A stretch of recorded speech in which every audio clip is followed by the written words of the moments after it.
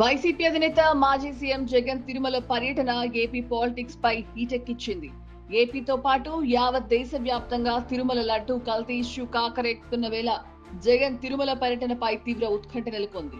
జగన్ తిరుమల పర్యటనను హిందూ సంఘాలు అడ్డుకోవడంతో తీవ్ర ఆవేదన వ్యక్తం చేశారు. తన కులం మతం ఏందో అందరికీ తెలుసని జగన్ అన్నారు. ఇంట్లో నాలుగు గోడల మధ్య తాను బైబిల్ చదువుతానని బయటకు వెళ్తే హిందూ ఇస్లాం సిక్కు సాంప్రదాయాలను తాను గౌరవిస్తానని చెప్పారు. తన మతం మానవత్వం అని డిక్లరేషన్లో రాసుకుంటే రాసుకోండని అన్నారు.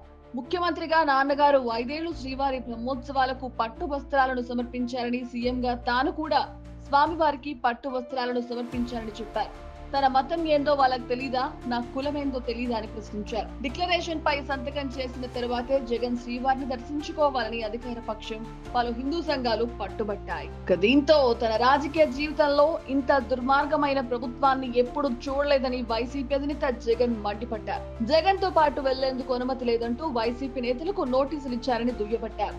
లడ్డు అంశాన్ని డైవర్ట్ చేసేందుకు ఇలా చేస్తున్నారని అన్నారు.